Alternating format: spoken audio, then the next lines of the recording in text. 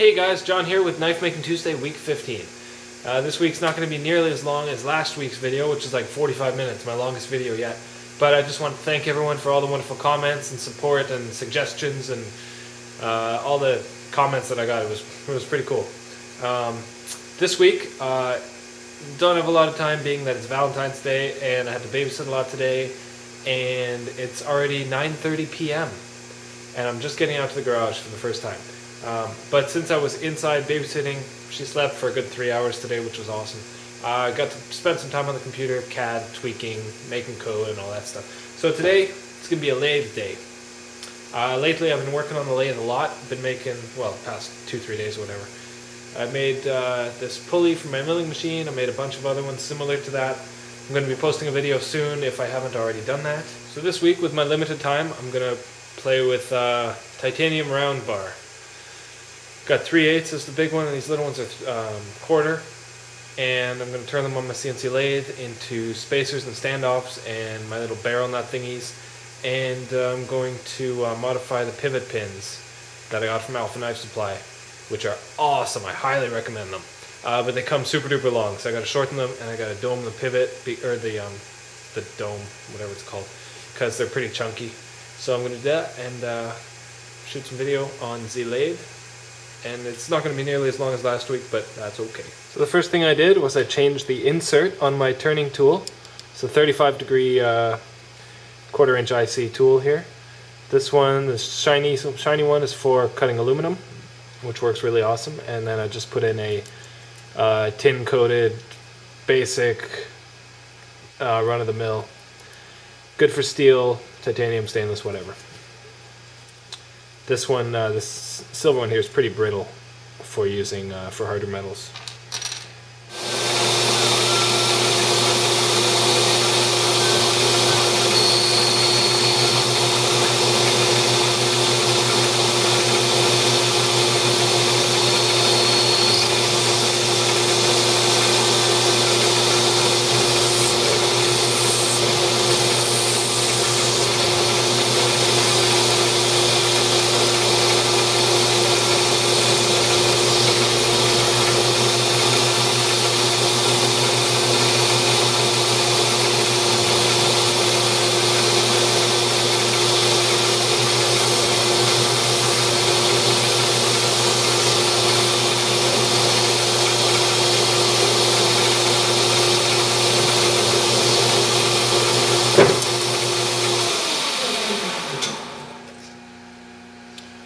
that freaking problem I've been having again.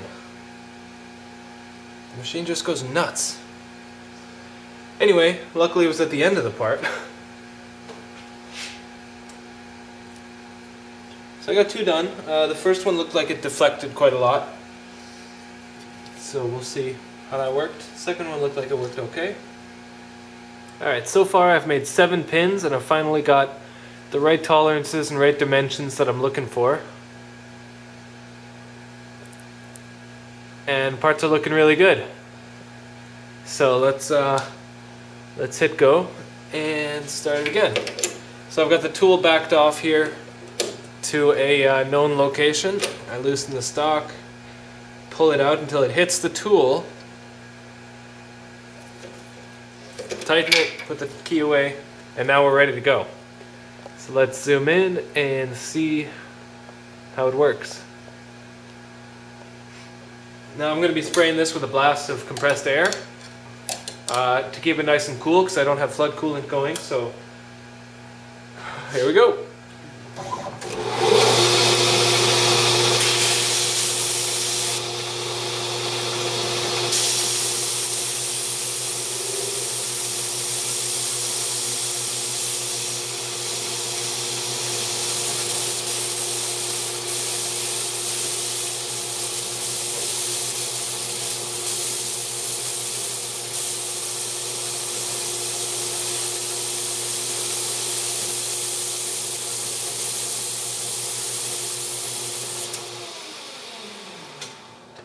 Not bad.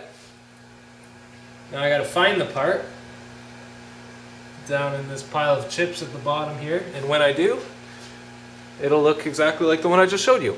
So now that I have everything zeroed and perfect, I'm just to bang off a bunch of them so that they're all perfect. Because if I change anything or wait and do more later, I'm to have to spend another hour re-zeroing everything, making sure everything's perfect. So uh, yeah, I'm going to bang off a bunch of these and then move to the thumb stud and then uh, something else. Can't remember.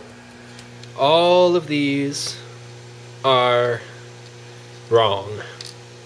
These were all learning experience. I haven't counted them, but there's a lot. However, all of these are right. So I've got, I think, 17 here, which will let me put together five knives for this particular part. And I just tried out a thumb stud design. I made a I don't know, one of these. Where'd we go? This one. That was my first little test, and it needed some tweaking. And then we made this one and anodized it.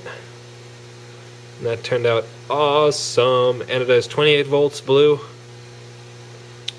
Looks wicked. Put it onto the knife. Oh yeah, it ties it together. I think it's a little taller than I want it to be. But so I might make it a little bit shorter.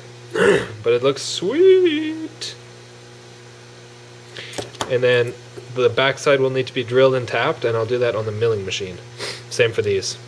I'm going to drill and, and these won't be tapped, but I'll drill these on the milling machine, and this will be drilled and tapped.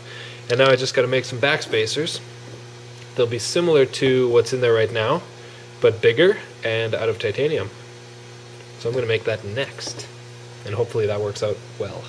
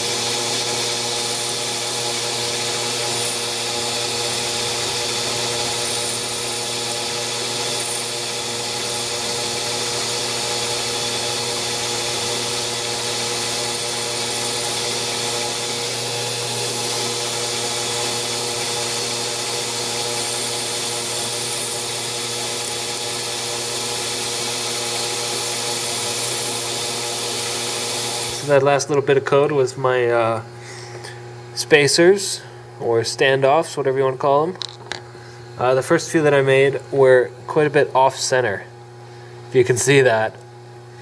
I used two different tools, and one of the tools was not uh, not lined up compared to the other one well enough. Then I made these ones, and they're still a tiny little bit off, but I just changed the code, and now it should be better. So right now I'm going to anodize those guys blue, just like this thumb stud. And uh, mock them together in the knife. You can see I've got one placed in the back.